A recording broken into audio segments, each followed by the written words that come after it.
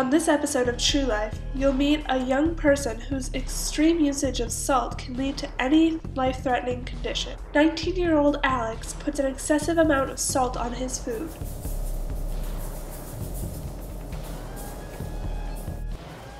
You have to eat popcorn out of separate bowls because I put too much salt in mine. Yeah.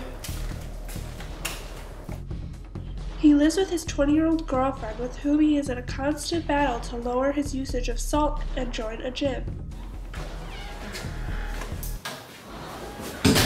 Finally, you're. Are you serious? It's Chinese.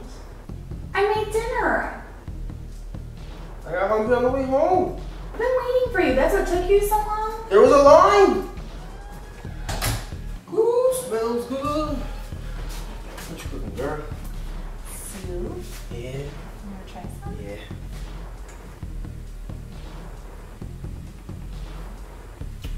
That's good. It needs some salt though. Okay, alright, that's enough. No, no. That's enough. You're gonna ruin it. No, I'm not. It's gonna taste good. It's What? gonna taste like salt. No, it's gonna taste like food with salt, which is gonna make it taste good. No, it's gonna lose all of its flavor. It's No, just not. going to taste like salt. No, It's it's not. It's gonna taste like soup and salt. stop.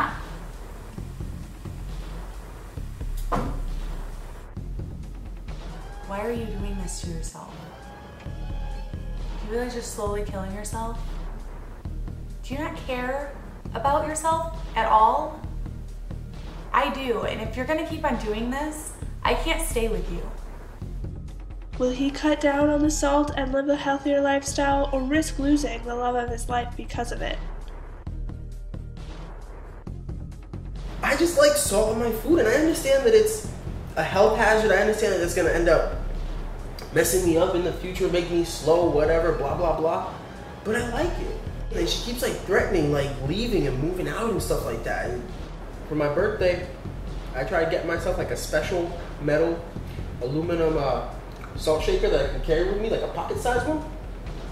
So just in case the restaurants don't have salt, I can do be like, "Ah!" salt. That didn't work out. That was three days I was sleeping on the couch. You need to exercise more. Mm-mm. I'm comfortable. That's not what I meant. If you're gonna be eating the salt the way you do, you need to counteract that damage with some regular exercise. I tried, but someone doesn't like to be woken up in the middle of the night.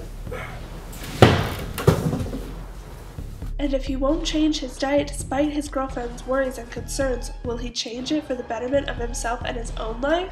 Find out next on True Life I'm Addicted to Salt.